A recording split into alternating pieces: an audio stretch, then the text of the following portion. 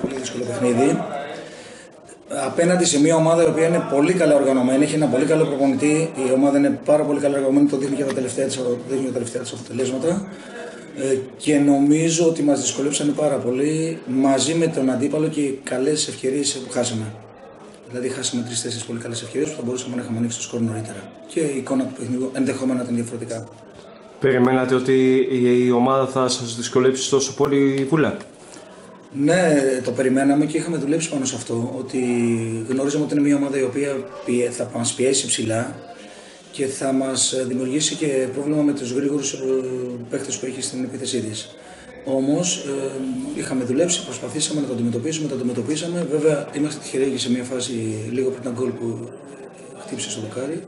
Μετά από προσπάθεια του, του, του Μαρινάκη, την έβγαλε και χτύπησε στο δοκάρι.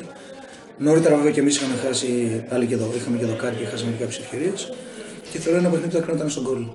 Και μια κουβέντα για τον κόσμο που γέμισε το γήπεδο, μιας και ήταν και από τις δύο περιοχές, Βούλα και Βάρ.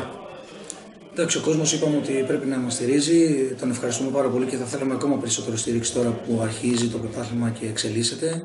Έχουμε έναν μαραθώνιο, μια αγωνιστική για να τελειώσει ο χρόνος αυτός και μετά και τα παιχνίδια.